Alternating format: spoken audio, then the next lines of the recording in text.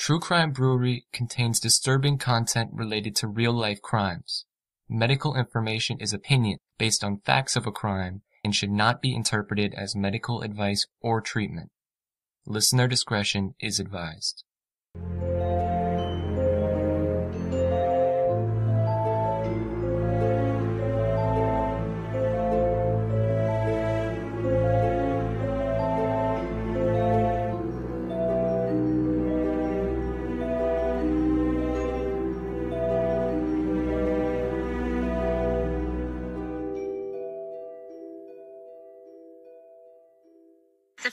Murder rule basically makes it a first degree felony murder charge if, in the act of committing a felony, let's say you're doing a robbery, in the act of committing a robbery, someone gets killed, maybe not even by your hands, but by someone else's hands, a co-defendant, a co-conspirator's hands. If someone gets killed while you are conducting a, a felony crime, then you can be convicted of first degree felony murder. What is your thought on how fair or not this charge is? That we all should be charged for what we done that day, but nobody committed murder, so why should we be charged with it? Age should have been a consideration in this one. You know, for the, the young kids to not even participate in the shooting and get convicted of it. That's the hard part to, the hard part to swallow. It's just after count, roughly 11 a.m., and the inmates at Wabash Valley are in transit. Blake Layman and Levi Sparks fall in line, some of the youngest inmates at the prison. I said I've been here for three years. Yeah, I've been locked up for three years, but I mean, it feels like so much longer. I had to mature because this is no place for a kid. What brought them to Wabash Valley they describe as a bad mistake with a deadly consequence no one expected. On October 3rd, 2012, a group of five friends thought no one would be inside this Francis Street home. But when the oldest of the group was shot and killed by the homeowner, and Blake shot in the leg, the rest went down for murder. When it happened, it was like, what are they talking about? Blake Layman and Jose Quiros were 16 at the time of their arrest. Levi Sparks was only 17, and Anthony Sharp Jr., 18 years old. I just put my hands behind my back, and then uh, I had to look behind, and was like, what am I being arrested for? And then that's when he told me murder, and was, uh, everything just like stopped for a second, like, hold on, what are you talking about? Their fates became more bleak from there. But after four days of testimony, five hours of deliberation, all three were found guilty of felony murder. To suggest that the 16 year old, the 17 year old was uh, convincing and forcing or making and had a huge impact on the 20, on the oldest kid there, to do this seems to me ridiculous. In Indiana, murder occurs when someone kills another human being while committing or attempting to commit a felony. In this case, a burglary. When they said guilty, uh, you know, I could hear my mom in the audience, and I was like the one. I don't. It was the one voice I heard out of over everyone. The punishment they faced 45 to 65 years. When they read it off, I just put my head down and shook my head because it was kind of like I was in another blank space, like when I was when I first got arrested. And it was an emotional sentencing. Circuit Court Judge Terry Shewmaker handed out a 50 year term for Sparks, 55 years for Layman and Sharp. On September 18th of this year, the answer they'd been waiting for. Heart dropped. I'm like, oh man, I hope he's right. The Supreme Court had thrown out their murder convictions. Yeah, everyone was like, why are you smiling so big as there you don't even know? but will others share a similar path? The Supreme Court didn't throw out its current interpretation of the law, which allows co defendants to be convicted of murder. Those decisions of who to charge and with what still lie with local prosecutors.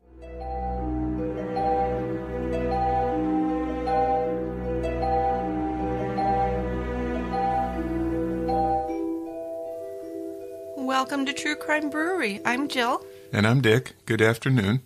Today's episode Guilt by Association, the Felony Murder Rule. Blake Layman made a very bad decision when he was 16, and that decision set off a series of circumstances that would culminate with his arrest and conviction for felony murder. But Blake didn't kill anyone. He broke into a house unarmed. The homeowner, who was armed, shot at him and his friend. His friend was killed. So, by Indiana's felony murder rule, Blake is now officially a murderer. The felony murder rule, which comes from all the way back in Old English law, treats people who are guilty of lesser crimes as murderers if they are with murderers when a murder occurs during the commission of a felony. The origins of the felony murder rule lie in a rule of transferred intent, wherein the malicious intent inherent in the commission of any crime, however trivial, was considered to apply to any consequences, whether they're intended or not, from that crime. So, this is an example of complete liability, where a person who chooses to commit a crime is absolutely responsible for all consequences of that crime. And this is whether they could predict it or not. Now, almost every state in the United States has a felony murder rule, even though there are some strong legal arguments to be made that it is probably unconstitutional. Critics also believe that the felony murder rule is contrary to the fundamental principle in our legal system that separates the criminals from their culpable mindset. In other words, the rule sets the same amount of blame to someone without the intent to kill as to someone who has a premeditated intent to kill. So today at the quiet end of the bar, we'll be talking about some cases of felony murder, some debatable and some just absolutely absurd. And what is the future of this law? Is there any relief in sight for people like Blake Layman? Of course, we're going to drink some beer too, but first let me thank some five star reviewers. Let's hear it. Thank you, Runner NYC 1989, Sweater Girl, STJC 83, Breezely, Formidable Me, and Pushing Up Daisies. Uh oh. Are they dead? I hope not. They have to be alive to do a five star review. I think it's predicated on that. I would think. But I like that, that name. Yeah, it's good. What have you got for a beer? I have a beer just because there's different states involved in this discussion. So I just was looking around and I found a beer called Felony IPA. Sounds perfect. So I thought it was perfect for our discussion. Felony IPA is brewed by Prism Brewing Company in Lansdale, Pennsylvania. It's an American double IPA, which we've had before. You can look at this as an IPA on steroids. Oh, so it's super hoppy? So they tend to be more malty, more robust, more alcoholic, and considerably more hoppy. And is that why they call it felony, probably? Because it's really severe? No, actually, uh, they, they call it felony because it doesn't follow the Reinheitsgebot brewing code of Germany. They, they add other stuff to it. So it's not a pure beer, and they call it a felony IPA. Oh, that's clever. Isn't it? Yeah. Because most brewers don't follow the Reinheitsgebot laws. They don't? No. Oh. But anyway. But in Germany they do. Yes. Okay. But we're in America. So this particular beer, Felony IPA, is a hazy amber color, and it has a moderately sized off-white head. A lot of sweet malt, a lot of floral and citrus hops in the aroma. The, the taste is very hoppy. Pine hops, grapefruit, some caramel to try to balance it out, but it doesn't. This is a really hoppy, bitter beer. A lot of people like it. A lot of people think it's too too bitter. What do you think? Wasn't my favorite. No. No. Because of the bitterness or Yeah, I think my palate's gotten worn out or something. so it was it was a little over the top for me. Okay. All right. Well, thank you. Let's open it up and then we'll go down to the quiet end. All right.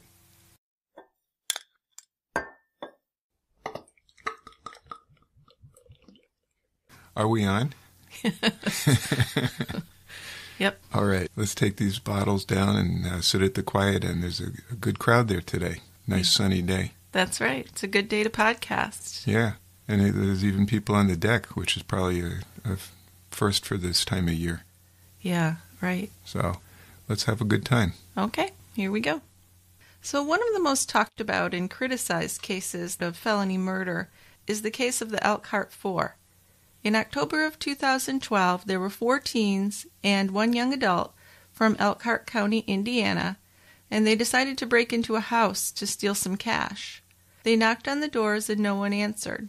Jose Quiros, 16, Blake Layman, 16, Anthony Sharp, 18, and Danzel Johnson, 21, broke into the house while Levi Sparks, 17, waited on the porch of the house as kind of a lookout across the street.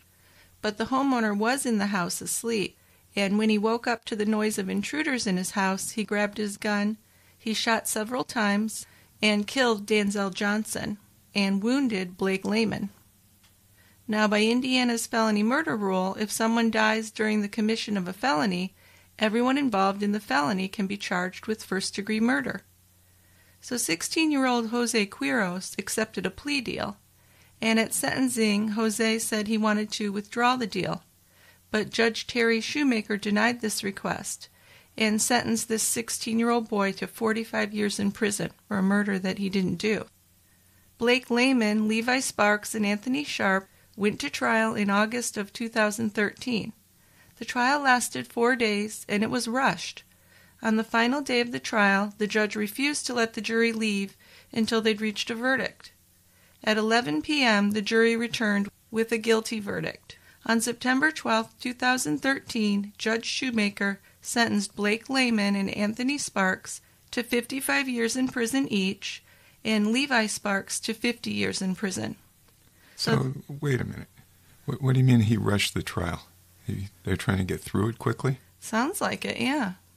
And, and he instructed the jurors that they couldn't leave until they came up with a verdict, which doesn't seem legal. No, it seems like we could have a, a mistrial or a retrial. Based on that alone, just, yeah. Just by that. Right. And the other question I have is what about the guy who actually did the shooting, the homeowner? He was not ever charged with anything?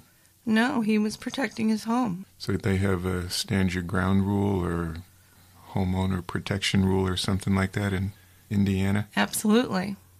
So I don't know why you would get up and just start shooting. I would think no. even if you have a gun, why wouldn't you say, I have a gun, get out of the house? And I bet they would have left. They would have. I mean, what I heard, I heard a radio interview with the homeowner where he actually said he decided to trap them in the house and get the police over there. So he was trying to stop them by shooting them rather than getting the police in there. And and by Indiana law, he has every right to do that. I guess so. Uh, he was not charged with anything. That's fucked up, isn't it? It really is. Yeah. Now, the state Supreme Court ordered their cases to go back to trial for all three to be found guilty of the lesser felony charge of burglary and to be resentenced on a burglary conviction. Jose was not mentioned in the appeal because he had accepted that plea deal, which he was kind of forced into, it seems like. Yeah. And he tried to get out of it, but they wouldn't allow it. Yeah. now, on January 7th, Sparks, Sharp, and Layman were resentenced in trial court on the lesser charge of burglary. That's just this year, in January. So Sparks was given nine years, and Sharp and Layman were given ten years. So Layman is expected to be released sometime this year, and Sharp is scheduled for release in May 2018. Well, that's better than 40 to 50 years. Sure, but they didn't change the law. That's no. the problem. And it still seems kind of a harsh penalty for robbery. First time. Well, it's not even robbery. Robbery would be where you confront someone. Or in burglary. Okay. Yeah. But that's those are pretty stiff sentences it seems to me. Well, and don't even get me started that they're under 18. I mean, why are they being charged as adults anyway? Right. I don't understand that either. But this is about felony murder, so we'll stick with that topic. We will. In February, Jose's sentence was also modified to burglary, and he was resentenced to 10 years, so he should be out this fall. But still, they're in prison a long time, and being that young and going to prison, I think that can really have an effect and change a person. Well, can it? Of course. I mean, I, I suppose it depends what prison you're in and who you're exposed to, but still, any prison would change your viewpoint on life. Well, when they turn 18, they're transferred over to the adult area. Great. Yeah. I know. It's disturbing. So this seems like an extreme case where the felony murder rule was misused. This is in part because the Indiana felony murder rule doesn't specify that the murder victim has to be innocent and not one of the perpetrators. Right. So there, there's something right there. Yeah, so it wasn't even, it was one of the perpetrators who got killed. Right. So we investigated the rule by reading a recent book on felony murder. Mm-hmm. And here's some examples of the law in action. And people are going to be amazed by these examples. I know. I, I was. John Earl Hickman was with a friend when the friend overdosed on cocaine. He was convicted of felony murder because of drug possession. So the felony is that he's possessing drugs. His friend dies. And his friend died while he took the drugs. But it's not a murder at all. It's an overdose. So that's Virginia says it is. okay. Another example North Carolina college student Janet Danahey set fire to a bag of party decorations as a prank in front of an exterior door of her boyfriend's apartment. The apartment building caught fire and four people were killed. Janet pled guilty to four counts of felony murder. Yes, and she's still in prison. That's one we'll touch on again in this conversation. Okay, because I'm, I'm thinking that's not too off point. What do you mean? You think that's okay? Yeah. But that's an accident. That's not a murder. Well, you had to have known that if you're setting fire to something outside of a building, maybe bad things can happen. Well, I suppose. I, I think Yeah. it's it's more of a manslaughter or negligent homicide. Well, okay. I'm not a lawyer, but that seems That's- extreme to me. Splitting hairs, I think. But anyway, we'll talk about that some more. Okay. Here's another one that will boggle your mind. Seven months after stealing a car, James Colenburg of Missouri was driving the stolen car down a residential street when a two year old suddenly darted out in front of the car. The toddler was hit and killed. James was convicted of felony murder based on the car theft. Exactly. So he wasn't speeding or do- breaking any laws while he was driving the car down the street. Yeah, that's tricky for me. I mean, he did steal the car, and I would think if he stole the car and he was in a race with police or something in a chase, that would be different. Sure. But he wasn't. This was months later. He was still driving the car. Seven months. Yeah. So the, the police might not be very good in that place in Missouri to not track down the stolen car. Right. He's probably driving it around in plain sight of people. Sounds like it. Although maybe he'd left the state and he was far away. I don't know, but Yeah, that seems extreme to me too. it does.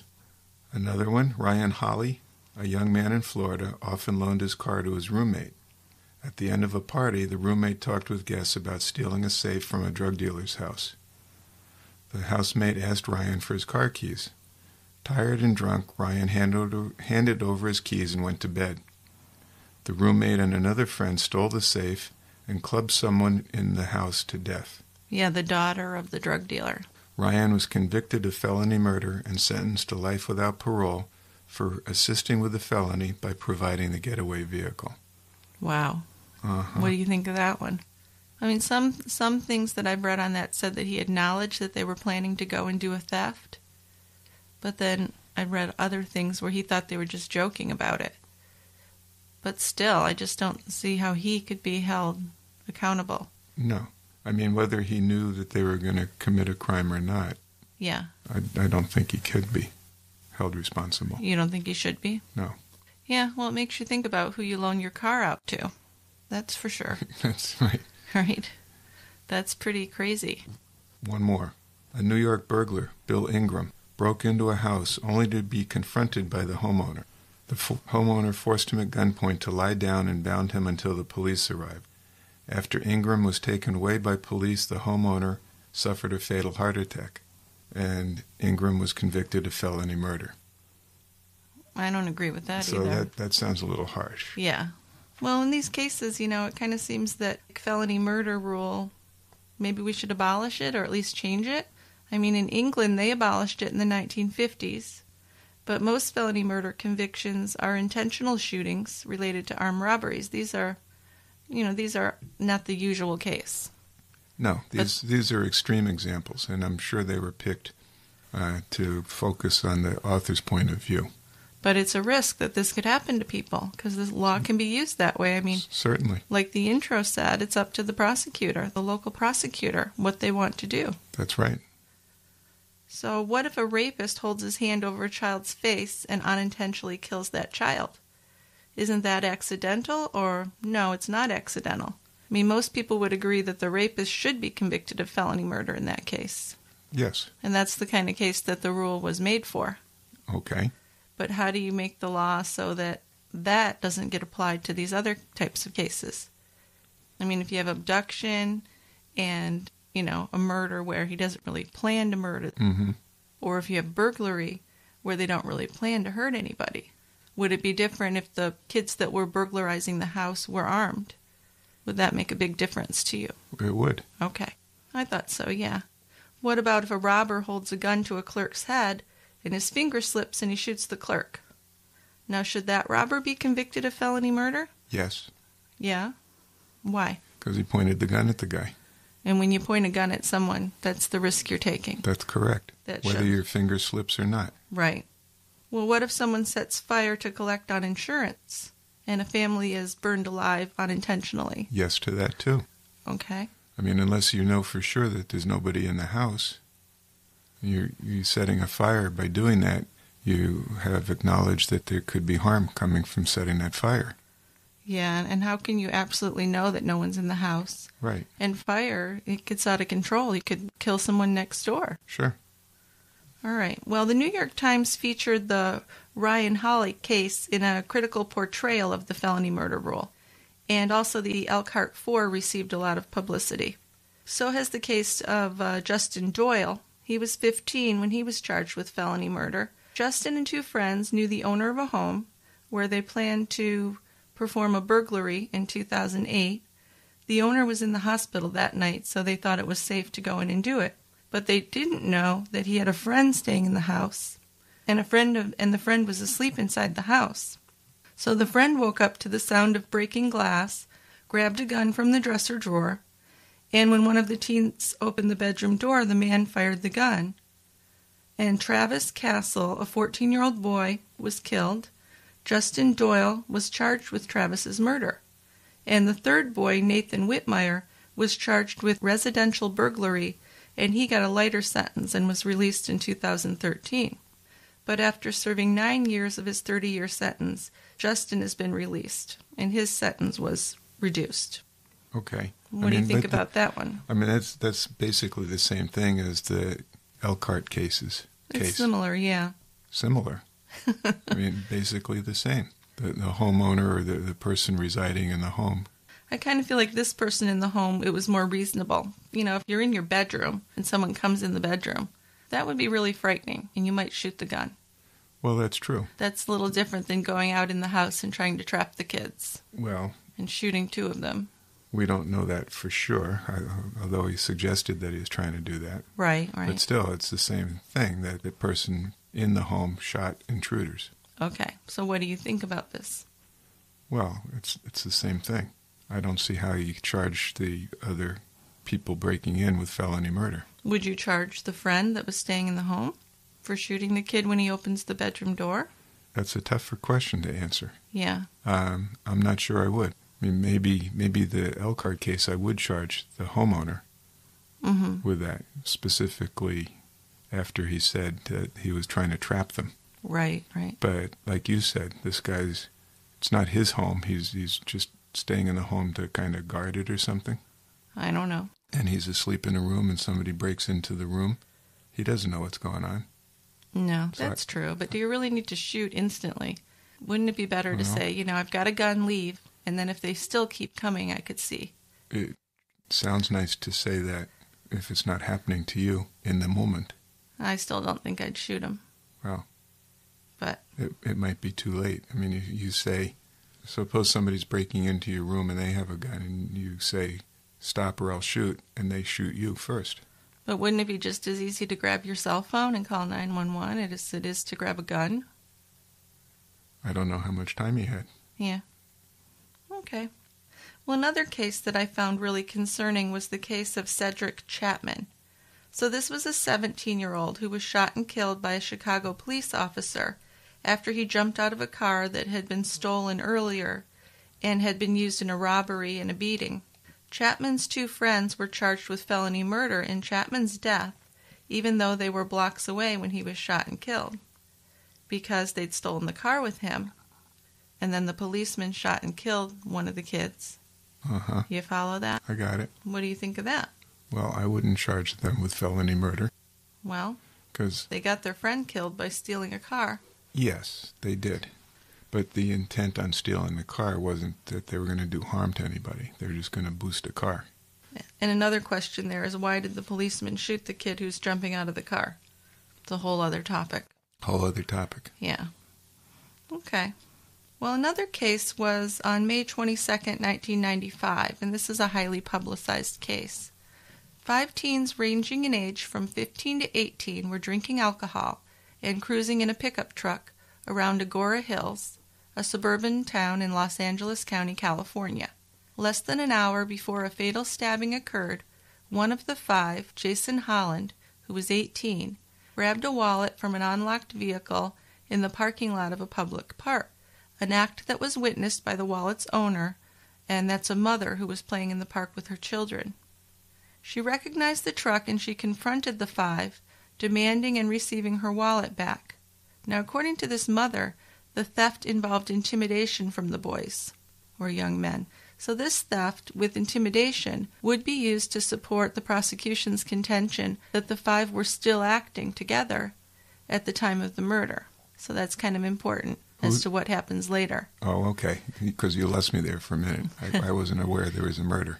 This was before the murder. So before the- about an hour before the murder. Before the murder, they stole a wallet, got confronted by the owner of the wallet, and they were intimidating. and they were intimidating to her. Right. And she recognized the pickup truck they were driving. hmm Okay. So they were looking for marijuana. So they drove to the home of Michael McLaurin, who was known around town to sell marijuana from a desk drawer in this fort like ramshackle building in his backyard. So a key factor in the murder trial would be whether the five intended to buy the marijuana or steal it. Now McLaurin was 17 and his friend Jimmy Farris was 16, and they were in the yard outside the fort when four of the five boys hopped the fence, and that was with Micah Holland, 15, leading the way. Now Micah entered the fort, and Anthony Malati, 17, he was physically the largest of the group, stood in the doorway of the fort. So their entry to the property would draw an additional charge of burglary. Now Jason Holland testified he was drunk and lagging behind the others, and he didn't see how the argument began between Micah and Mike McLaurin. Now as he entered, they started fighting, and Brandon Hein, 18, jumped into the fight, as did Jason, who says he was trying to get Mike off his brother Micah. So Jason opened a folding pocket knife and he pricked McLaurin twice in the back to get him off his brother. What do you mean pricked? I mean, Well, say like- stabbed. Okay, well, they weren't deep stabs. How do you, Slashed. How do you know that? Well, I know it from reading the transcripts from the trial. They were Okay. like slashes. But he drew a knife He did. and attacked the guy. Yeah, I'm not trying to minimize that. Okay. Well, you, you were, sort of. You said he pricked the kid with the knife. Okay. And I, right. I wouldn't use that, that verb. Okay. But you're okay with slash. Slashed would be okay. Okay. I, I don't see how you prick someone with a knife. And, Prick sounds like a toothpick or something. Yes. Okay, I, I see. I won't say that then. So then he stabbed him in the chest. So now I'm saying stabbed. Okay. You got you got a good verb there. And then Jimmy Farris entered the fort to help Mike McLaurin. These were the two guys that were there already. Hmm And Jason stabbed him twice. And Brandon Hyde punched him in the head and face. Now Mike McLaurin survived his wounds, but Farris died in the emergency room. So when Jason Holland learned from his mother that he was wanted for murder, he went into hiding, but then several weeks later he voluntarily surrendered.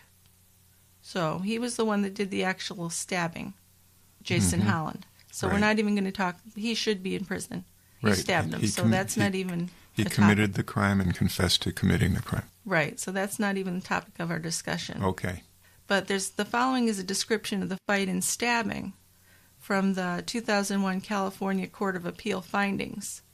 So the term appellants that includes Christopher Veraldo, who was 17 and owned the pickup truck, and he remained in the truck through the whole fight and incident, and he was tried separately. So according to the transcripts, it was about 7 p.m. Mike McLaurin and Jimmy Farris were in the McLaurin backyard in the immediate vicinity of the fort. Without permission or invitation, all appellants, that's the group of boys, entered the backyard by hopping over a fence. Now Micah Holland and Malati entered first, and Jason and Brandon Hein followed about 10 or 15 feet behind. Micah immediately entered the fort, and Anthony Malati stood in the doorway. Appellants did not have permission or invitation to enter the fort, and there had not been any prior arrangement for the sale of marijuana between Mike McLaurin and the guys. So Jason was carrying a, folding pocket knife. There's no evidence that Micah, Brandon Hein, or Anthony Malati carried any weapons or that any of them knew that Jason had a pocket knife. So Micah unsuccessfully attempted to pull open the desk drawer. Next, Micah and Hein, Brandon Hein, in a threatening manner, shouted words demanding that Mike McLaurin turn over the key to the locked desk drawer. So that kind of sounds like they're trying to steal from them, doesn't it? It certainly does. So Micah, when threatening Mike McLaurin and demanding the key, shouted, Give me the key, fool, give me the key. So then they mentioned some things about a gang. The, the Gumbies was mentioned. But there's no proof they belonged to a gang and that they might have just been using the gang's name to sound threatening and to scare them. So Micah, Jason, and Brandon then verbally and physically assaulted Mike McLaurin, and the violence escalated. Mike McLaurin held Micah face down on a bed and elbowed him in the back and neck. Jason attempted to pull Mike McLaurin off of Micah, and McLaurin kicked Jason in the face. McLaurin then heard Jason say, Let's get this fucker. So while being held in a headlock, Mike McLaurin twice felt sharp, debilitating, pulsing sensations, which later proved to be multiple stab wounds. And like we said, Jason Holland admitted that he stabbed him.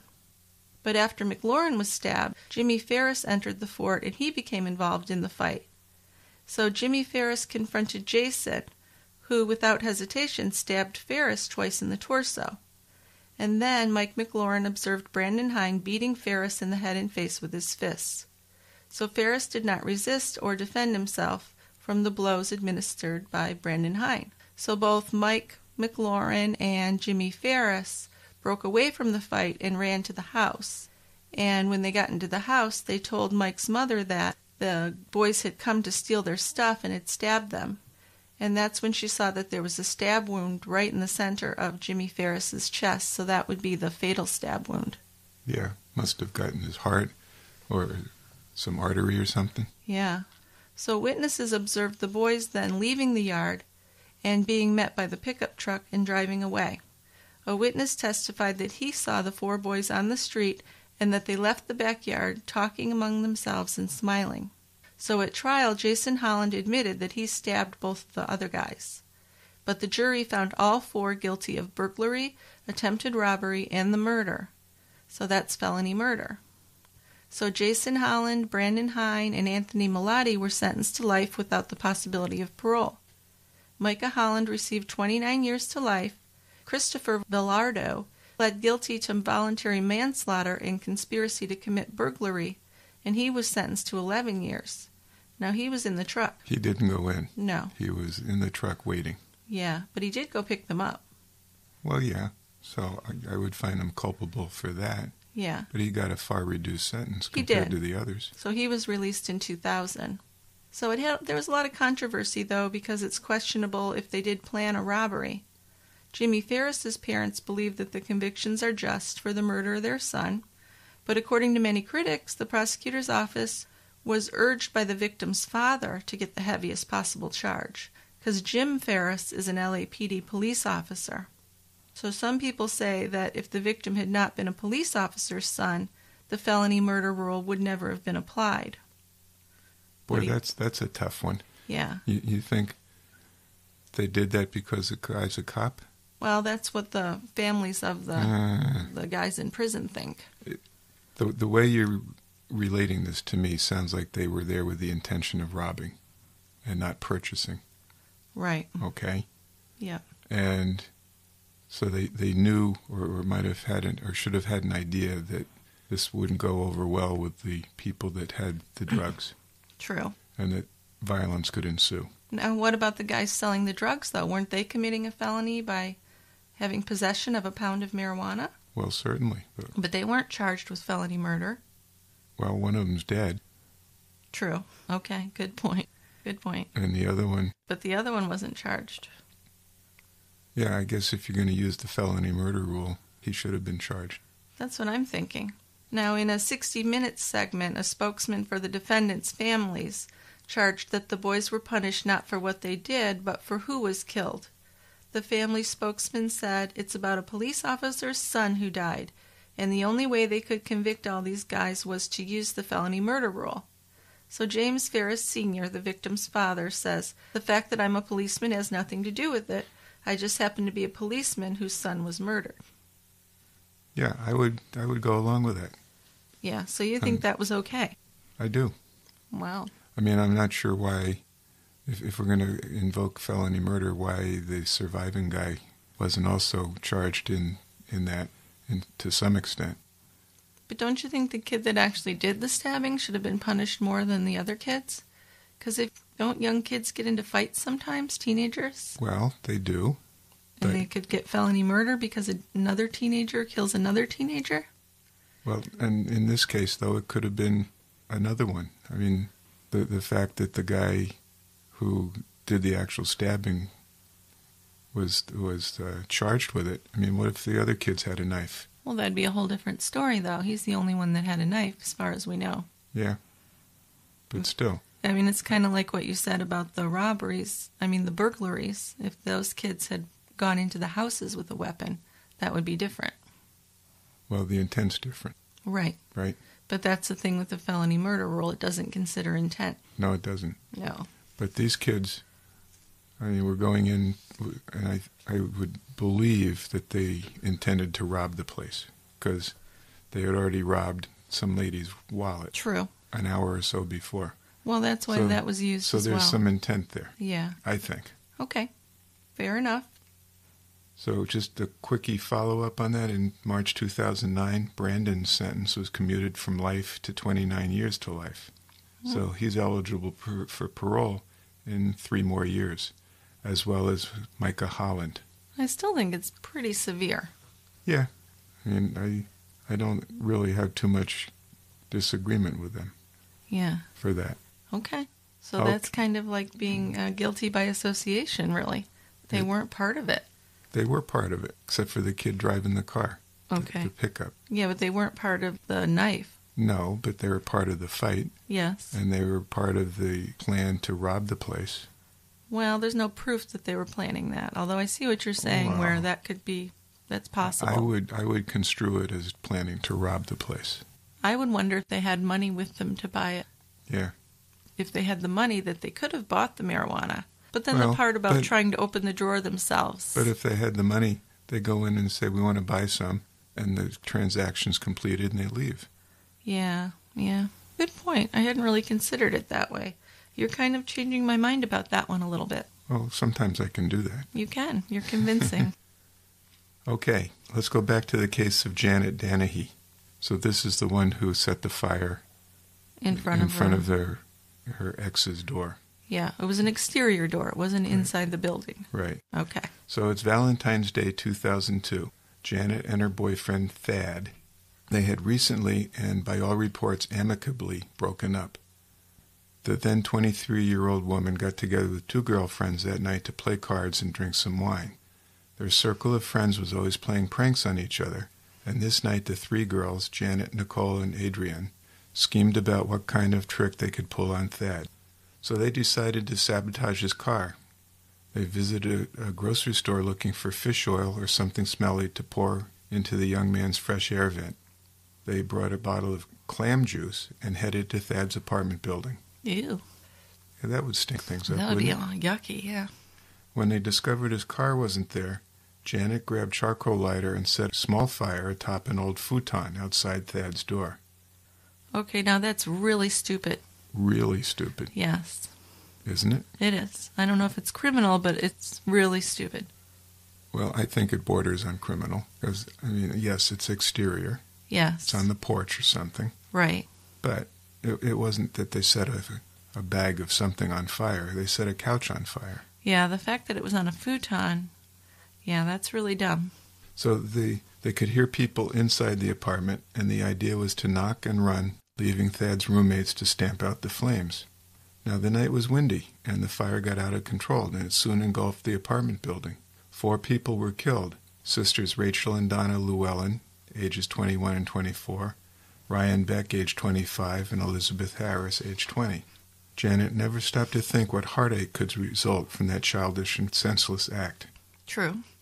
Janet admitted to police and to the father of Elizabeth Harris that she had set the fire and begged for forgiveness, But she was soon faced with the cold reality of North Carolina's felony murder statute, which dozens of other states also have on their books. Under the felony murder rule, and we've gone over this again and again, Yeah. if anyone is killed during the commission of a felony, in this case arson being the felony, the perpetrator of the felony can be charged with murder and sentenced to death. It holds even if the victim's death was an accident, which this most certainly was. Sure. Janet had to choose between pleading guilty and receiving life in prison with no chance of parole or going to trial where, if found guilty, she would automatically get the death penalty. Wow. So she pled guilty. Wow. Wouldn't you? Yeah, I don't see how you could find that as a death penalty case, though. Well, the way the courts were looking at it was that she were found guilty. So I guess you could roll the dice and hope that you're not found guilty. Yeah. But if you are, you have an automatic death penalty. Well, I'm just thinking there should be something lower to call it besides murder. Um, negligent homicide is one of my favorites to say, even Yeah. though I don't, I'm not a lawyer. I don't know exactly what the criteria for that But is. they, they applied the felony murder law they did. to this. But I don't know if that's really productive for society. I mean, she's not a hazard to society. Well, that's a whole other discussion, Yeah. right? I mean, she's just stupid, and hopefully she learned her lesson. Yeah, but she killed four people. Yes. Okay. So do you think it's more the attitude that someone has to pay?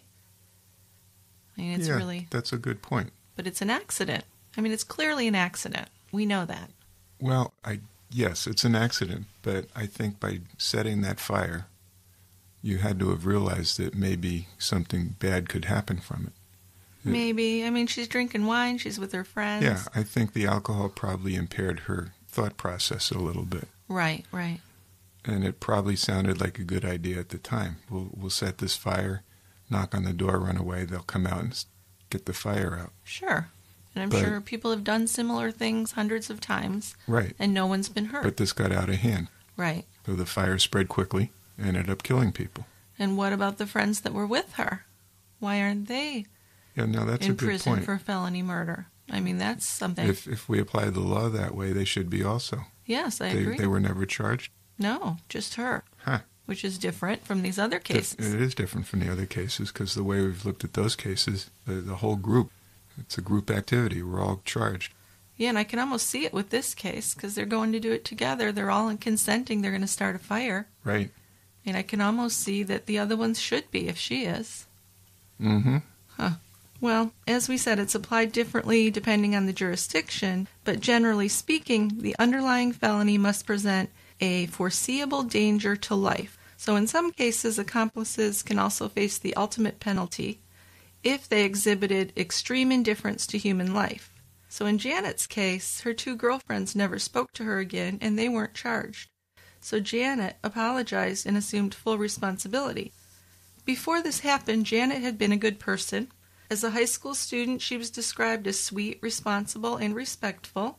She'd won the Girl Scouts top award, was active in several clubs, including the Young Christian Society. She played the viola. She carried the Olympic torch during part of the run to Atlanta's 1996 Summer Olympic Games, and she made the dean's list in college. But none of this absolves her of the blame. No, I, I would say the same thing. That doesn't matter. Well- how, how good a citizen she is. Right, but the record shows that she just made this stupid decision one night that ruined her life, It sure did. which I guess happens. Yes. Plenty of people make a stupid decision that takes their own life. Mm-hmm. Car accidents, drug overdoses, the perils of youth. On the other hand, prosecutors rightfully pointed out in court that Janet was an intelligent college graduate, so she should have known that using an accelerant and setting a fire on a windy night could result in a catastrophic fire and damage and could hurt somebody. I agree.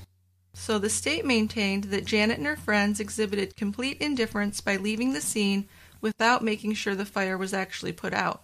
I agree with that. They should have stayed there and made sure. Yes. So, But then, then again, I mean, she has her two girlfriends with her, right, and they left. and, and they left too. I so mean, I don't understand why they weren't so- charged. yeah. I mean, different state from the other ones we've discussed, but still, it Yeah. seems like if, if we're going to apply this law fairly, they all should have been charged. Well, it seems like it isn't applied fairly because in all these different cases it's used differently. It's very flexible. It, It- depends on the prosecutor. It does. Yep. Well, in 2012, Janet's lawyers noted that she's been a model prisoner, and they filed a petition for clemency with the outgoing governor to have her sentence reduced to time served. And the attorneys call what happened on fe- that February night a joke, a foolish prank, a thoughtless act, but with no malicious intent, which I would agree. And they've asked for an adjustment to a sentence that is not out of proportion to the conduct involved. One of Janet's most visible supporters is Elizabeth Harris's father, Robert, who said that he forgave Janet years ago. And his words were part of her clemency petition. I still picture Janet with outreached hands, handcuffed, trembling, shaking almost violently, crying intensely, speaking almost incoherently. These are the hands that are responsible for Beth's death, and my reactions were instinctive. I went over to her, I held her tightly, and I whispered, I forgive you, Janet, several times. So that's one of, one of the victim's father. hmm So he forgave her. yeah. So what happened at the clemency hearing? Well, there were some family members of the victims that were really opposed to her getting clemency, though, and they spoke as well. So Governor Perdue left office without acting on it, leaving the request in a state of suspension for the next governor, who was McCrory. And in December 2016, Janet heard from the clemency office that her request was reopened. So her life sentence in prison was commuted by the outgoing governor, Pat McCrory, making her eligible for parole in 2029. That's still a long fucking time. Ah, that doesn't sound like much was accomplished there. I mean, I guess it's better than life, but it's still spending most of her life in I prison. mean, she's still got another dozen years. yeah, another 12, 13 years. Yep. So, I don't know. I mean, I see how stupid it is, but in the, tell us about the book you read about um, changing the law. What'd you find out about that? Well, I, I like this book. It's I read this book by a professor of law at the uh, State University of New York, uh, Buffalo Law School. Okay. His name is Guyora Binder, and his his recommendation for changing the law sounds very simple to me and and easily understood. Oh, good. So he's he's looking at it as the principle of dual culpability, and he required two things to be present to make a charge of felony murder. One is that violence or apparent danger to life can occur. Okay, That's kind of vague, though. I don't think so. No? So you're going in to rob a bank, or to steal stuff. Yeah. No, not steal stuff. That's although it could. But anyway, you're going in to rob a bank. Okay. Uh, so you have a gun. You have a gun. Okay. What if you have a fake gun? Doesn't matter. Why? because you have a gun that people who you're robbing would think is a real gun. Yeah. So, so you're But you can't shoot anyone with it. no, but the way the victims would look at it is that's a real gun. Yeah. But they're not going to get shot, so there's no risk of them getting hurt. But they don't know that. Right. So So there doesn't have to be an actual risk. There just can be a perception of a risk. violent or apparent danger to life. Okay. Okay, All right. And that there. The second part is that there's a sufficiently malign purpose, which is independent of injury to the victim. Explain that. So that means that you recognize that violence could occur. Okay. Even if nobody's got a weapon. Right. Huh. So those two things. So in uh, looking at that example, like with the kids that were burglarizing the house and the homeowner shot one of them, that shouldn't be felony murder. Right, right. Because one of them didn't do it. One of them didn't do it, Yeah. and that there was no purpose or intent of possible injury on the part of the kids. Okay.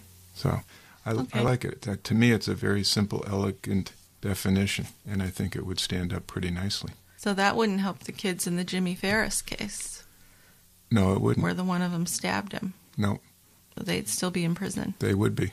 And what about Janet?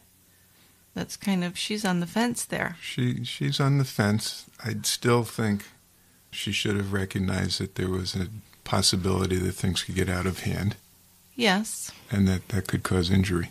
Right. So I'm I'm not too upset with that verdict. No.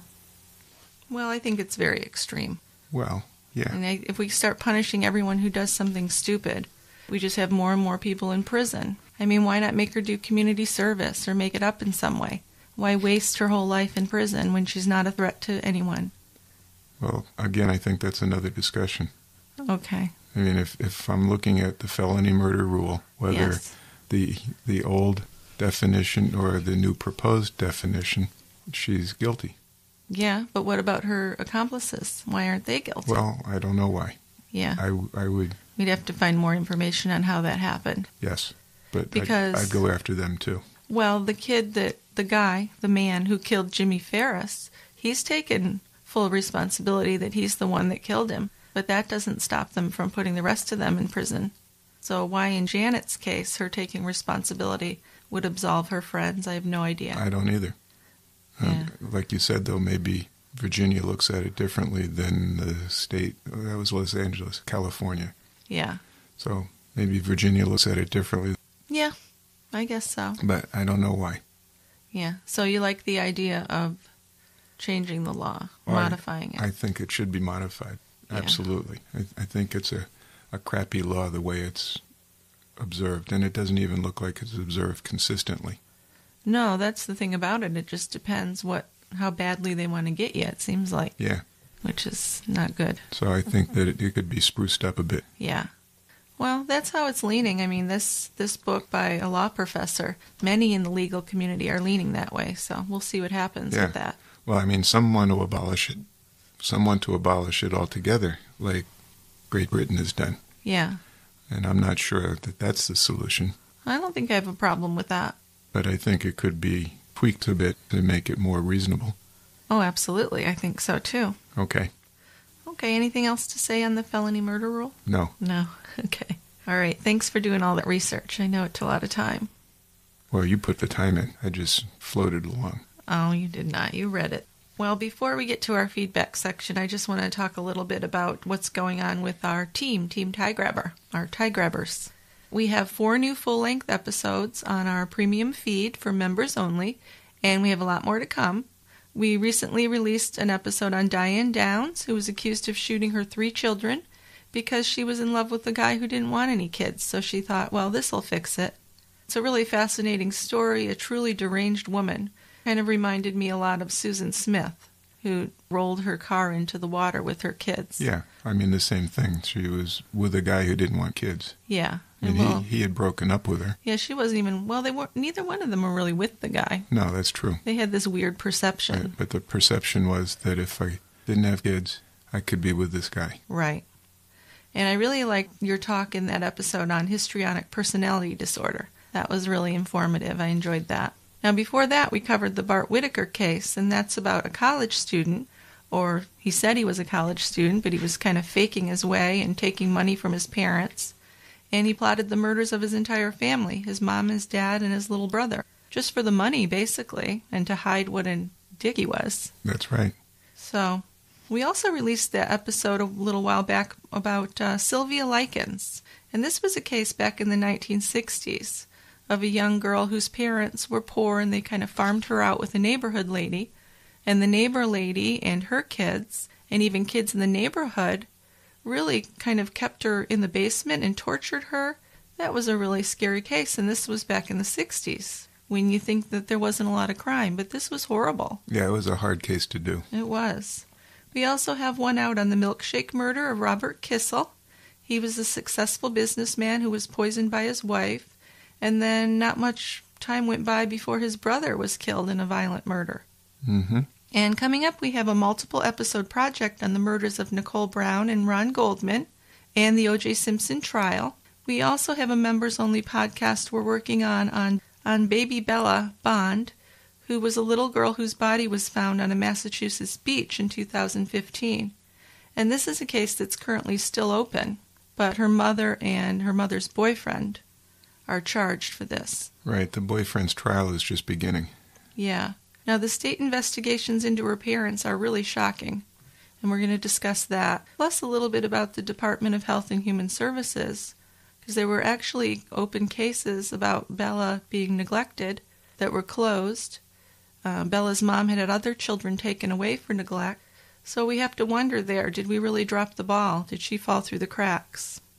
And all of these full length, full quality episodes are yours to enjoy by joining Team Grabber. So just head on over to tiegrabber.com, sign up. You can sign up for as little as $2 a month, and I think you'll enjoy having extra episodes. You don't have to wait a week. That's right. You've got these extra ones. And and we've got lots of episodes coming up for the extras, and we might even think about doing a couple a month.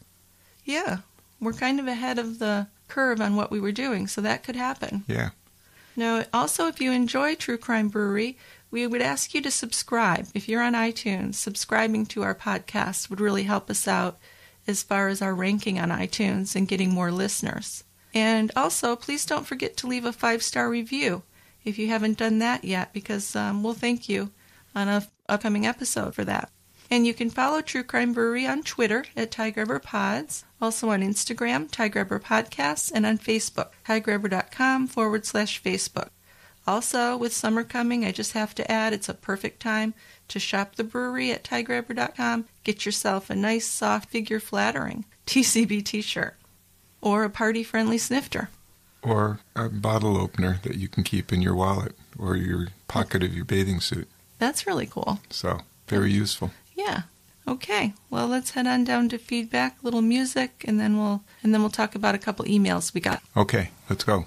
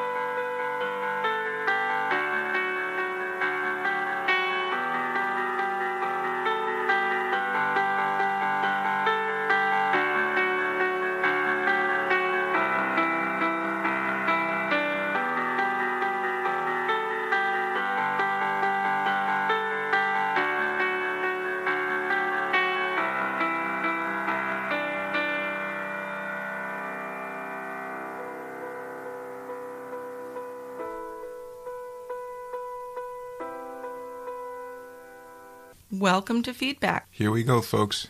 I have a suggestion I want to read, and it is about the Mackenzie Cowell case. And this is an email I got from Nicole. So, Nicole says The murder of Mackenzie Cowell from Wenatchee, Washington has always been interesting, and I always felt that the trial of Chris Wilson was a bit of a witch hunt. There are a lot of questions that went unanswered. It would be awesome to have you guys take a look at it. So, I did take a look at it a little bit. There was um, a 48 hours or Dateline episode that I watched on it was really interesting. Now, Mackenzie Cowell, she was murdered six years ago, and the man who pled guilty to murdering her is Chris Wilson. So he's currently serving 14 years in prison, but he's maintained his innocence. But he pled guilty. Yes, he ended up taking a plea after 85% of the potential jurors polled said that they would have no trouble finding him guilty. Not sure how that worked. Me either. but he was pressured into taking the plea, he said and evidence against him was some blood found in his apartment that matches Mackenzie's. So his contention is that the blood was planted by the police. And while this does seem far fetched, it's possible because only a small patch of blood was found in his apartment when Mackenzie's death involved her jugular vein being cut. So logically, there should be more blood. But the evidence against him beyond that seems questionable as well. So there is um there's a website about freeing Chris Wilson, and there's a lot of articles on it. There were some other suspects, um, some people who were working for the police as informants, had other stories about what happened to her, which were interesting. Her boyfriend actually failed a couple of questions on the lie detector test. Plus, you know, it's it's the loss of a, a really sweet girl, so it might be worth doing a case that, on it. That sounds interesting. I, I always like conspiracy theories. Well, so where they, uh, yeah, I guess know, it's a conspiracy yeah, theory. Planting evidence. Yeah, but it could just be like one cop that did it. It doesn't have to be a conspiracy. Well, it only takes one. Okay, when I think conspiracy, I think of a group working together. I guess that's not necessarily it, though. Yeah. Okay. I mean, I, I think that sounds like an interesting thing. Yeah, so, so I put it on my list. We might do that. Let's look into it. Okay. All right, and then I know you've got something. I have something from Ezra Lee on YouTube It's regarding a monster in the neighborhood. He's talking about porn exposure in children. So, a monster in the neighborhood was the case of Jessica Ridgeway, who was killed by a teenager in the neighborhood, Austin right, Aust- Sigg. Austin Sigg, Okay. who killed the child and dismembered her. Yeah. And he had been watching extreme porn from an early age. Violent porn. Right. Right. So Ezra says, I'm sorry, but the pornographic email sounds like straight bullshit to me. That's like saying violent video games causes people to murder. You would have kids gunning people down in the streets. You're already fucked up in the head if you allow porn to make you do violent and unsavory things. Plus, you're forgetting to take into account that more and more women are now starting to watch porn, and young girls. Also, there is a growing gay population in porn as well. I think this is just a feminist bias against porn be- because she claims that women are oppressed by porn. I've seen other feminists make that claim with not really anything else to back it up other than their opinions. Sorry, I'm calling it bullshit. Now, I'm not saying that kids should be watching porn. They most definitely should not. But I'm pretty sure porn isn't going to make them be sexist towards women.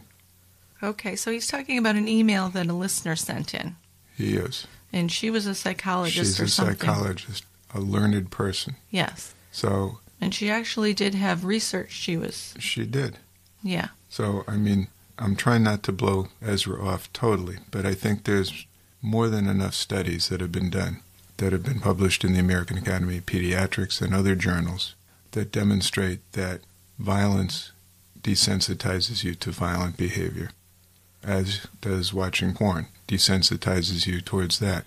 So, you're, you're more likely, maybe it's not a guarantee that you're going to go out and gun people down Oh, in, I think it's far. streets. It's far from a guarantee. I mean, I think there has to be, someone has to be predisposed to that kind of behavior. I think he's right about that. They do. Yes. But watching violent video games or watching violent porn doesn't help. Well, no, Right. no, no. And uh, I, th- I think porn is going to make you have different attitudes towards women.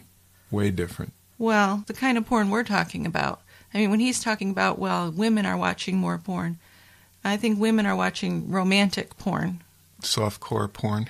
Yeah, I mean, what women watch for porn usually is a relationship between two people, you know, where they do show the sex, but it's not anything like what we're talking about with Austin Sigg was Right. actually children being murdered. He was watching snuff films and all sorts of horrendous yeah, that's a porn. whole that's a whole other thing. And, and that's a totally different thing.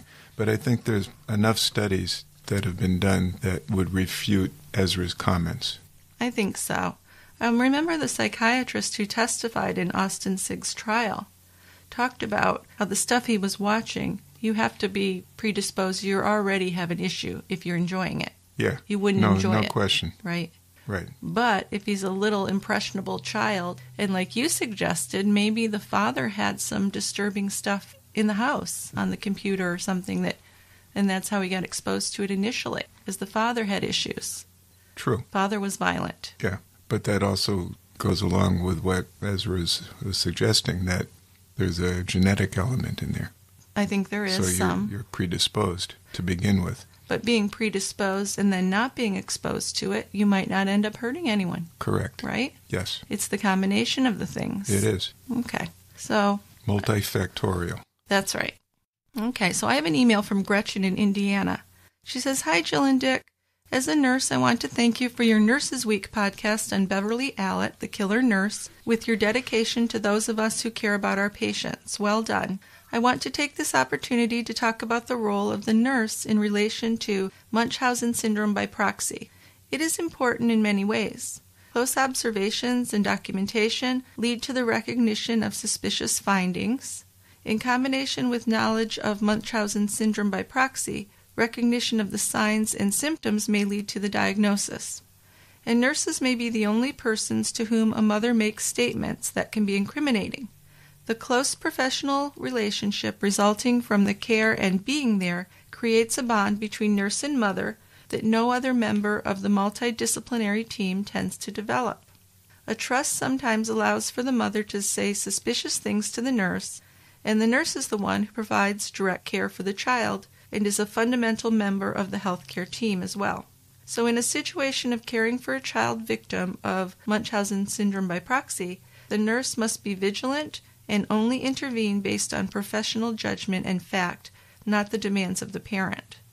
The use of a multidisciplinary team helps to support the nurse, and having others aware of the situation is crucial. Nursing is a caring profession working with a case of suspected or diagnosed Munchausen syndrome by proxy is very trying for the staff. A diagnosis of Munchausen syndrome by proxy is child abuse. It's not a form of child abuse that is well known, nor is it easily detected. Overall, further research and study is needed in this area of mental health disorders. The nursing role related to the assessment, diagnosis, and treatment is important throughout the process. The most important thing is to be able to recognize and diagnose it. This is accomplished first with increased awareness, especially with nurses that care for children. There are many ethical dilemmas and legal difficulties when gathering evidence to determine a diagnosis. The demands on the nursing staff are multiple, and they need strong support systems. Nurses are the ones who are in the perfect position to advocate for a child who may be a victim. So it's critical that the physicians and the administrators support the nurses' concerns. Fortunately, nurses like Beverly are exceedingly rare, and nurses are protectors and caretakers of their patients. Well, that's a, a well written letter from Gretchen. Yes. And, and all I can say is I would wholeheartedly agree with her because these, these kids that are being abused by a parent or parents that are in the hospital for whatever procedures or reasons, who, who better to observe the interaction between parent and child but the nurse? Right. Eh, Way more than the physician. Yeah, because the physician's going to what? See him once or twice a day, or Right. And Yeah. then the nurse is there for 8 to 12 hours, and they're the best source of information. And I would also echo her comment at the end that the nurses should have the full support of the physician and hospital administration. Well, and that's where I think the multidisciplinary teams are really important because I think even the the nurses' aides, everybody should be on board with what you're looking for. Oh, definitely. Yeah. Because sometimes in some facilities the nurse's aide is going to be in there more often than the nurse Right. doing the, you know, the you know, changing the bed, stuff like that. Right. And the, the, the child's not admitted with a diagnosis of Munchausen by proxy. They're admitted with a medical diagnosis. Well, yeah, right. And so it's up, up to the nurse or the nurse's aide or the physician or whoever's interacting with the family to be able to recognize what's going on. Right, right. And I like how she said, you know, that it should be based on fact. Don't get judgy, like, oh, that mother's crazy, and and you know, sometimes Yeah. that's not good either. We, we all have parents that have uh, different viewpoints on raising children. Right. And the nurses aren't always going to agree, Right. but that's very different than having a diagnosis of Munchausen syndrome No, by cer- proxy. certainly is. Right. Okay, well, that's all I have for feedback today. And I just wanted to let the listeners know that I'm really excited about our next episode. Our next episode, we're speaking with Rhonda Stapley, who's a survivor. She was abducted by Ted Bundy back in the 70s. One of So- every uh, one of America's favorite serial killers. Yeah, so it's going to be a really interesting episode. I'm excited about it. It is. I mean, the, the interview with her and, and the book she's written are, Be are just amazing. a- amazing things. Yeah, yeah. Okay, So I'm looking forward to that too. yep, we both are. Okay. Okay, Over thank you and for out. listening. Bye bye. See you next time.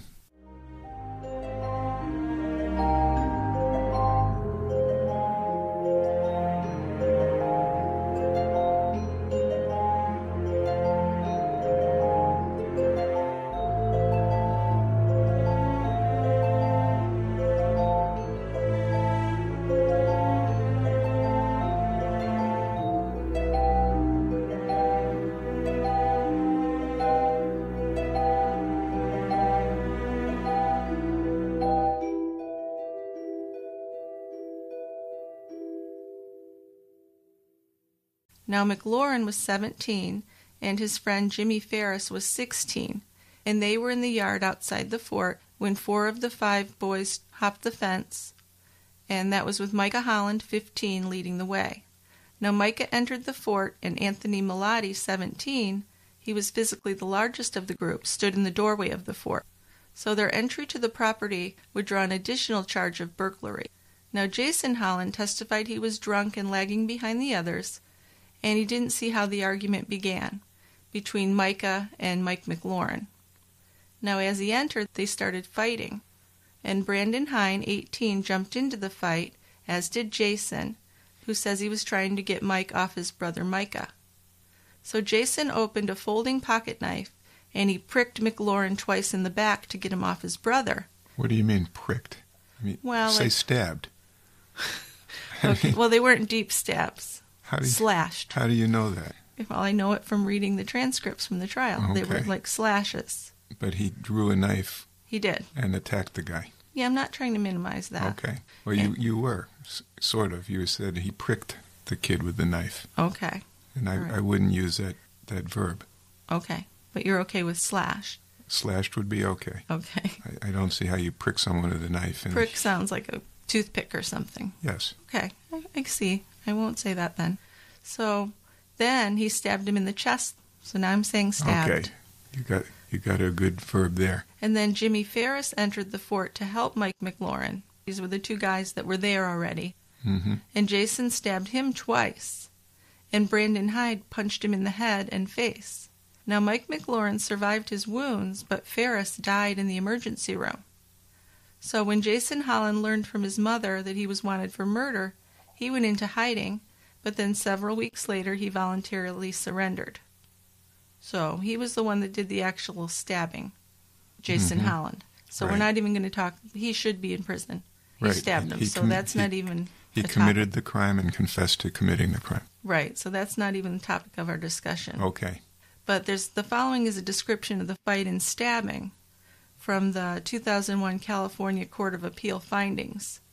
So the term appellants that includes Christopher Velardo, who was 17 and owned the pickup truck. And he remained in the truck through the whole fight and incident, and he was tried separately. So, according to the transcripts, it was about 7 p.m. Mike McLaurin and Jimmy Farris were in the McLaurin backyard in the immediate vicinity of the fort. Without permission or invitation, all appellants, that's the group of boys, entered the backyard by hopping over a fence. Now Micah Holland and Miliotti entered first, and Jason and Brandon Hein followed about 10 or 15 feet behind. Micah immediately entered the fort, and Anthony Miliotti stood in the doorway. Appellants did not have permission or invitation to enter the fort, and there had not been any prior arrangement for the sale of marijuana between Mike McLaurin and the guys. So Jason was carrying a folding pocket knife. There's no evidence that Micah, Brandon Hein, or Anthony Miliotti carried any weapons or that any of them knew that Jason had a pocket knife. So Micah unsuccessfully attempted to pull open the desk drawer. Next, Micah and Hein, Brandon Hein, in a threatening manner shouted words demanding that Mike McLaurin turn over the key to the locked desk drawer. So that kind of sounds like they're trying to steal from them, doesn't it? It certainly does. So Micah, when threatening Mike McLaurin and demanding the key, shouted, Give me the key, fool, give me the key. So then they mentioned some things about a gang. The, the Gumbies was mentioned. But there's no proof they belong to a gang and that they might have just been using the gang's name to sound threatening and to scare them. So Micah, Jason, and Brandon then verbally and physically assaulted Mike McLaurin, and the violence escalated.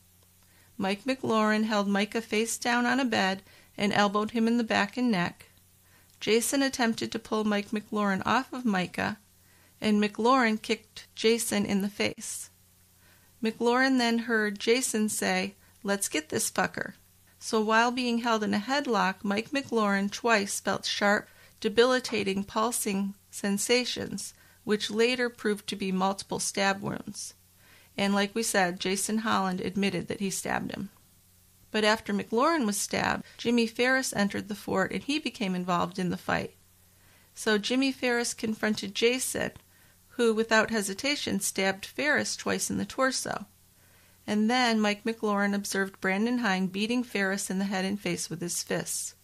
So Farris did not resist or defend himself from the blows administered by Brandon Hein. So both Mike McLaurin and Jimmy Farris broke away from the fight and ran to the house.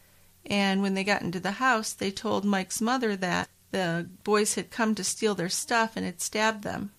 And that's when she saw that there was a stab wound right in the center of Jimmy Farris's chest, so that would be the fatal stab wound.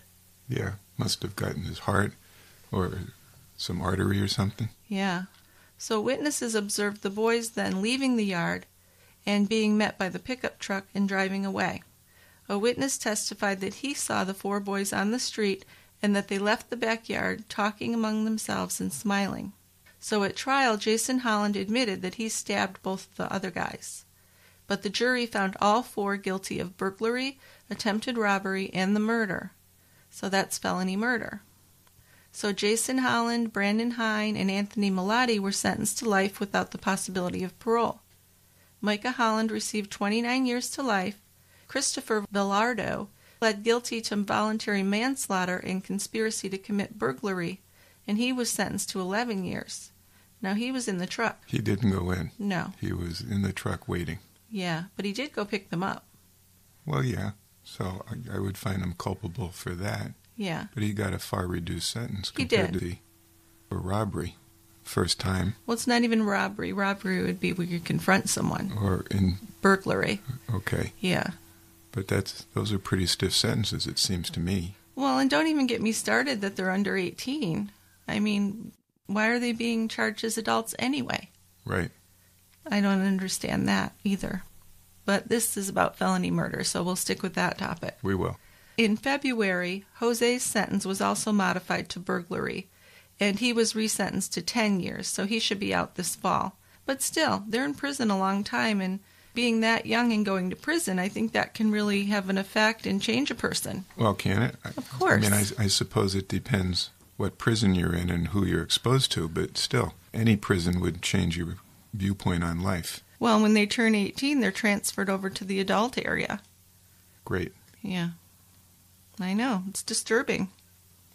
So this seems like an extreme case where the felony murder rule was misused. This is in part because the Indiana felony murder rule doesn't specify that the murder victim has to be innocent and not one of the perpetrators. Right. So there, there's something right there. Yeah, so it wasn't even, it was one of the perpetrators who got killed. Right. So we investigated the rule by reading a recent book on felony murder. Mm-hmm. And here's some examples of the law in action. And people are going to be amazed by these examples. I know. I, I was. John Earl Hickman was with a friend when the friend overdosed on cocaine. He was convicted of felony murder because of drug possession. So the felony is that he's possessing drugs. His friend And dies. his friend died while he took the drugs. But it's not a murder at all. Wow. It's an overdose. So that's Virginia says it is. okay. Another example North Carolina college student Janet Danahey set fire to a bag of party decorations as a prank in front of an exterior door of her boyfriend's apartment. The apartment building caught fire and four people were killed.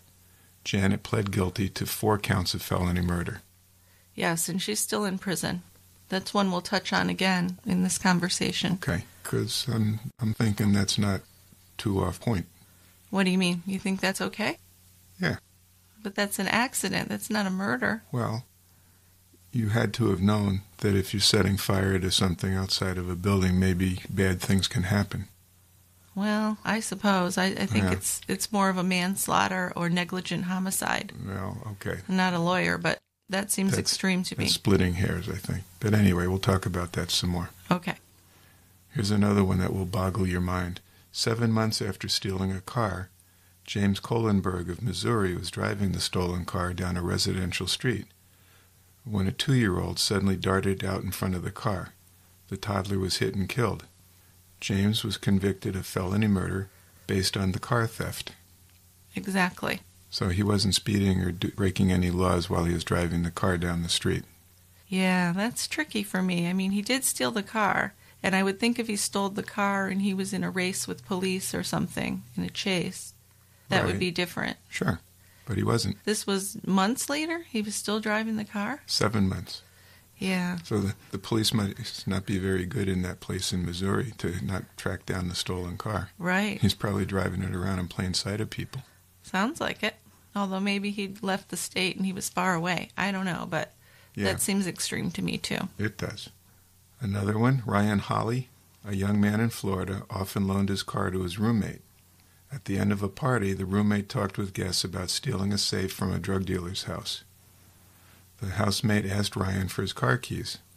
Tired and drunk, Ryan handed, handed over his keys and went to bed. The roommate and another friend stole the safe and clubbed someone in the house to death. Yeah, the daughter of the drug dealer. Ryan was convicted of felony murder and sentenced to life without parole for assisting with the felony by providing the getaway vehicle. Wow. Uh-huh. What do you think of that one? I mean, some some things that I've read on that said that he acknowledged that they were planning to go and do a theft, but then I read other things where he thought they were just joking about it. But still, I just don't see how he could be held accountable. No. I mean, whether he knew that they were going to commit a crime or not, Yeah. I, I don't think he could be held responsible. You don't think he should be? No. Yeah, well, it makes you think about who you loan your car out to. That's for sure. That's right. right? That's pretty crazy. One more. A New York burglar, Bill Ingram, broke into a house only to be confronted by the homeowner.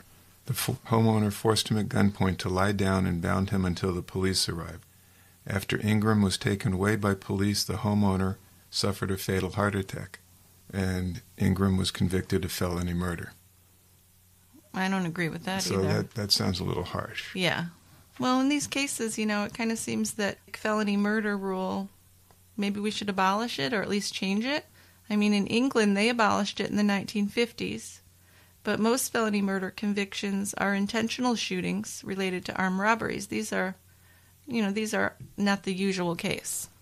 No, these these are extreme examples, and I'm sure they were picked uh, to focus on the author's point of view.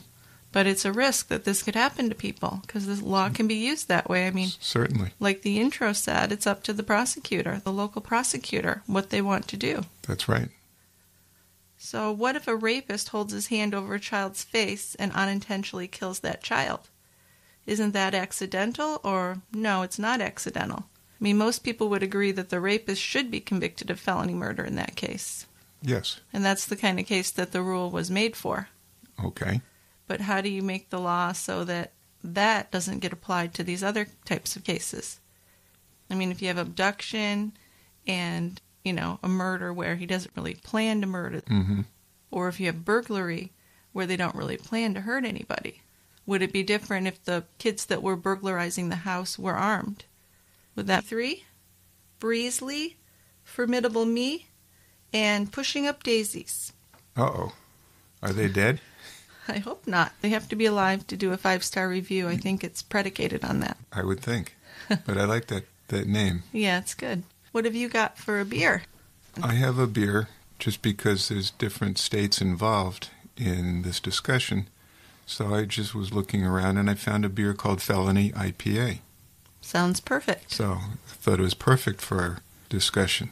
Felony IPA is brewed by Prism Brewing Company in Lansdale, Pennsylvania.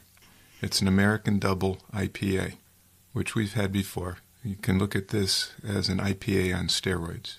Oh, so it's super hoppy? So they tend to be more malty, more robust, more alcoholic, and considerably more hoppy. And is that why they call it felony, probably? Because it's really severe? No, actually, uh, they they call it felony because it doesn't follow the Reinheitsgebot brewing code of Germany. They they add other stuff to it, so it's not a pure beer, and they call it a felony IPA, Oh, that's clever. isn't it? Yeah. Because most brewers don't follow the Reinheitsgebot laws. They don't? No. Oh. But anyway, But in Germany, they do. yes, Okay. but we're in America. So this particular beer, Felony IPA, is a hazy amber color, and it has a moderately sized off-white head. A lot of sweet malt, a lot of floral and citrus hops in the aroma. The, the taste is very hoppy, pine hops, grapefruit, some caramel to try to balance it out, but it doesn't. This is a really hoppy, bitter beer. A lot of people like it. A lot of people think it's too too bitter. What do you think? Wasn't my favorite. No. No. Because of the bitterness? Or? Yeah, I think my palate's gotten worn out or something. so it was it was a little over the top for me. Okay. All right. Well, thank you. Let's open it up and then we'll go down to the quiet end. All right.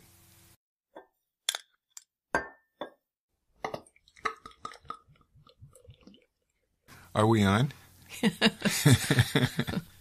Yep. All right, let's take these bottles down and uh, sit at the quiet end. There's a, a good crowd there today. Nice sunny day. That's right. It's a good day to podcast. Yeah, and it, there's even people on the deck, which is probably a, a first for this time of year.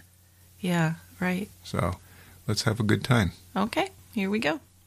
So, one of the most talked about and criticized cases of felony murder is the case of the Elkhart Four. In October of 2012, there were four teens and one young adult from Elkhart County, Indiana, and they decided to break into a house to steal some cash. They knocked on the doors and no one answered. Jose Quiros, 16, Blake Layman, 16, Anthony Sharp, 18, and Danzel Johnson, 21, broke into the house while Levi Sparks, 17, waited on the porch of the house as kind of a lookout across the street. But the homeowner was in the house asleep, and when he woke up to the noise of intruders in his house, he grabbed his gun, he shot several times, and killed Danzel Johnson and wounded Blake Layman. Now, by Indiana's felony murder rule, if someone dies during the commission of a felony, everyone involved in the felony can be charged with first degree murder. So 16 year old Jose Quiros accepted a plea deal, and at sentencing, Jose said he wanted to withdraw the deal. But Judge Terry Shewmaker denied this request and sentenced this 16 year old boy to 45 years in prison for a murder that he didn't do. Blake Layman, Levi Sparks, and Anthony Sharp went to trial in August of 2013. The trial lasted four days and it was rushed. On the final day of the trial, the judge refused to let the jury leave until they'd reached a verdict. At 11 p.m., the jury returned with a guilty verdict. On September 12, 2013, Judge Shewmaker sentenced Blake Layman and Anthony Sparks to 55 years in prison each, and Levi Sparks to 50 years in prison. So, so wait a minute. What, what, do you mean he rushed the trial? He, they're trying to get through it quickly? Sounds like it, yeah. And, and he instructed the jurors that they couldn't leave until they came up with a verdict, which doesn't seem legal. No, it seems like we could have a, a mistrial or a retrial. Based on that alone, just, yeah. Just by that. Right. And, and the other question I have is what about the guy who actually did the shooting, the homeowner? He was not ever charged with anything? No, he was protecting his home. So they have a stand your ground rule or homeowner protection rule or something like that in Indiana? Absolutely. So I don't know why you would get up and just start shooting. I would think No. even if you have a gun, why wouldn't you say, I have a gun, get out of the house? And I bet they would have left. They would have. I mean, what I heard, I heard a radio interview with the homeowner where he actually said he decided to trap them in the house and get the police over there. So he was trying to stop them by shooting them rather than getting the police in there. And and by Indiana law, he has every right to do that. I guess so. Uh, He was not charged with anything. That's fucked up, isn't it? It really is. Yeah. Now, the state Supreme Court ordered their cases to go back to trial for all three to be found guilty of the lesser felony charge of burglary and to be resentenced on a burglary conviction. Jose was not mentioned in the appeal because he had accepted that plea deal, which he was kind of forced into, it seems like. Yeah. And he tried to get out of it, but they wouldn't allow it. Yeah. now, on January 7th, Sparks, Sharp, and Layman were resentenced in trial court on the lesser charge of burglary. That's just this year, in January. So Sparks was given nine years, and Sharp and Layman were given 10 years. So Layman is expected to be released sometime this year, and Sharp is scheduled for release in May 2018. Well, that's better than 40 to 50 years. Sure, but they didn't change the law. That's No. the problem. And it still seems kind of a harsh penalty. to Make a big difference to you. It would. Okay. I thought so, yeah. What about if a robber holds a gun to a clerk's head and his finger slips and he shoots the clerk? Now, should that robber be convicted of felony murder? Yes, Yeah. Why? because he pointed the gun at the guy. And when you point a gun at someone, that's the risk you're taking. That's correct. That Whether should- your finger slips or not. Right. Well, what if someone sets fire to collect on insurance and a family is burned alive unintentionally? Yes to that, too. Okay. I mean, unless you know for sure that there's nobody in the house, you're, you're setting a fire by doing that. you have acknowledged that there could be harm coming from setting that fire. Yeah, and how can you absolutely know that no one's in the house? Right. And fire, it gets out of control. You could kill someone next door. Sure. All right. Well, the New York Times featured the Ryan Holle case in a critical portrayal of the felony murder rule. And also the Elkhart 4 received a lot of publicity. So has the case of uh, Justin Doyle. He was 15 when he was charged with felony murder. Justin and two friends knew the owner of a home where they planned to perform a burglary in 2008. The owner was in the hospital that night, so they thought it was safe to go in and do it. But they didn't know that he had a friend staying in the house, and a friend of, and the friend was asleep inside the house. So the friend woke up to the sound of breaking glass, grabbed a gun from the dresser drawer, and when one of the teens opened the bedroom door, the man fired the gun. And Travis Castle, a 14 year old boy, was killed. Justin Doyle was charged with Travis's murder. And the third boy, Nathan Whitmire, was charged with residential burglary, and he got a lighter sentence and was released in 2013. But after serving nine years of his 30 year sentence, Justin has been released, and his sentence was reduced. Okay. What do you think about that one? I mean, that's that's basically the same thing as the Elkhart cases. It's case. similar, yeah. Similar. I mean, basically the same. The, the homeowner or the, the person residing in the home.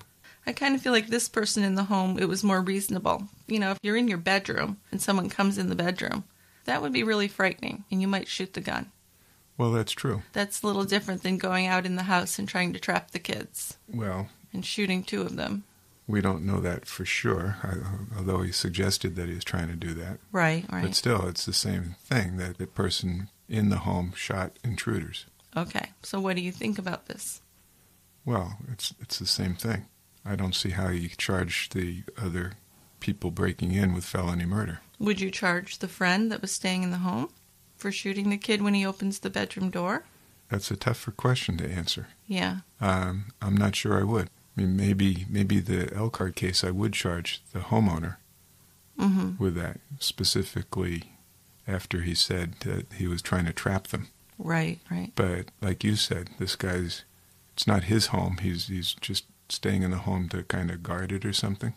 I don't know. And he's asleep in a room, and somebody breaks into the room. He doesn't know what's going on. No, So I- that's true. But do you really need to shoot instantly?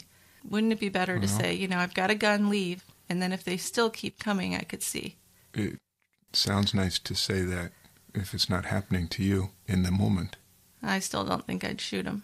Well, But it, it might be too late. I mean, if you say, suppose somebody's breaking into your room and they have a gun, and you say, stop or I'll shoot, and they shoot you first. but wouldn't it be just as easy to grab your cell phone and call 911 as it is to grab a gun? I don't know how much time you had. Yeah. Okay. Well, another case that I found really concerning was the case of Cedric Chapman. So, this was a 17 year old who was shot and killed by a Chicago police officer after he jumped out of a car that had been stolen earlier and had been used in a robbery and a beating. Chapman's two friends were charged with felony murder in Chapman's death, even though they were blocks away when he was shot and killed, because they'd stolen the car with him and then the policeman shot and killed one of the kids. Uh huh. You follow that? I got it. What do you think of that? Well, I wouldn't charge them with felony murder Well, because, they got their friend killed by stealing a car. yes, they did. But the intent on stealing the car wasn't that they were going to do harm to anybody. They were just going to boost a car. And another question there is why did the policeman shoot the kid who's jumping out of the car? It's a whole other topic. Whole other topic. Yeah. Okay. Well, another case was on May 22nd, 1995, and this is a highly publicized case. Five teens ranging in age from 15 to 18 were drinking alcohol and cruising in a pickup truck around Agoura Hills, a suburban town in Los Angeles County, California. Less than an hour before a fatal stabbing occurred, one of the five, Jason Holland, who was 18, grabbed a wallet from an unlocked vehicle in the parking lot of a public park, an act that was witnessed by the wallet's owner, and that's a mother who was playing in the park with her children. She recognized the truck and she confronted the five, demanding and receiving her wallet back.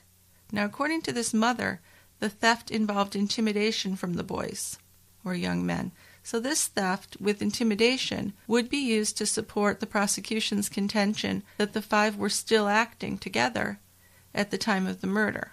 So, that's kind of important as to what happens later. Oh, okay. Because you lost me there for a minute. I, I wasn't aware there was a murder.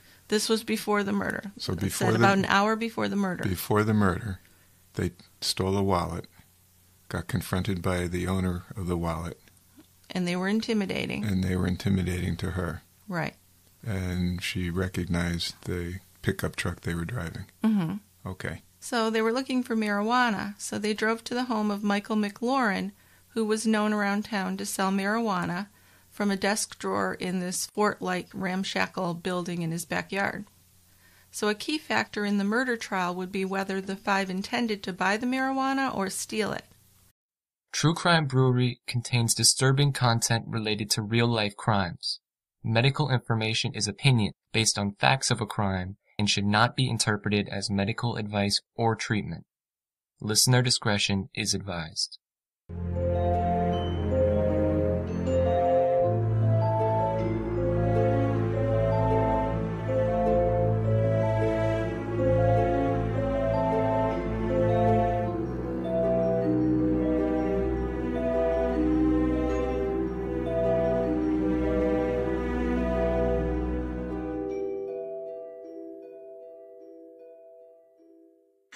Murder rule basically makes it a first degree felony murder charge if in the act of committing a felony, let's say you're doing a robbery, in the act of committing a robbery, someone gets killed, maybe not even by your hands, but by someone else's hands, a co-defendant, a co-conspirator's hands.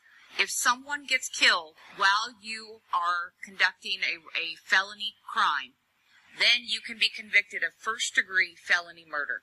What is your thought on how fair or not this charge is? That we all should be charged for what we done that day, but nobody committed murder, so why should we be charged with it? Age should have been a consideration in this one. You know, for the, the young kids to not even participate in the shooting and get convicted of it. That's the hard part to, the hard part to swallow. It's just after count, roughly 11 a.m., and the inmates at Wabash Valley are in transit. Blake Layman and Levi Sparks fall in line, some of the youngest inmates at the prison. I say I've been here for three years. Yeah, I've been locked up for three years, but I mean, it feels like so much longer. I had to mature because this is no place for a kid. What brought them to Wabash Valley they describe as a bad mistake with a deadly consequence no one expected. On October 3rd, 2012, a group of five friends thought no one would be inside this Francis Street home. But when the oldest of the group was shot and killed by the homeowner, and Blake shot in the leg, the rest went down for murder. When it happened, it was like, what are they talking about? Blake Layman and Jose Quiroz were 16 at the time of their arrest.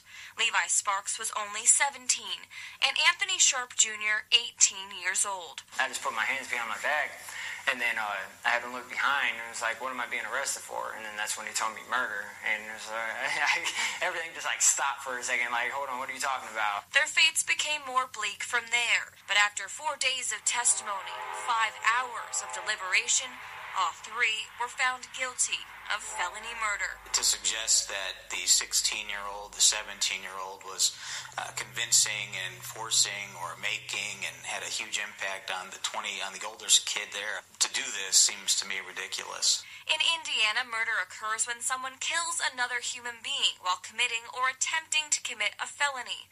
In this case, a burglary. When they said guilty, uh, you know, I could hear my mom in the audience, and I was like the one.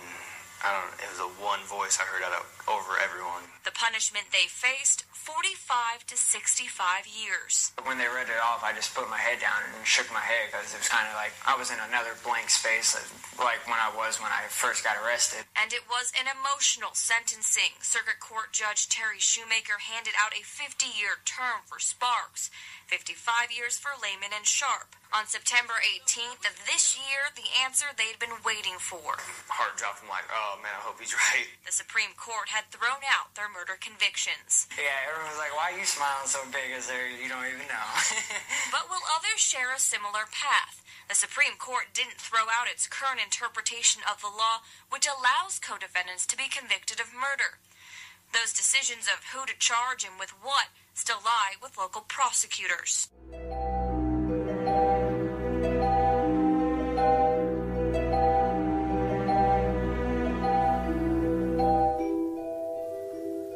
Welcome to True Crime Brewery. I'm Jill. And I'm Dick. Good afternoon. Today's episode Guilt by Association The Felony Murder Rule. Blake Layman made a very bad decision when he was 16, and that decision set off a series of circumstances that would culminate with his arrest and conviction for felony murder. But Blake didn't kill anyone. He broke into a house unarmed. The homeowner, who was armed, shot at him and his friend. His friend was killed.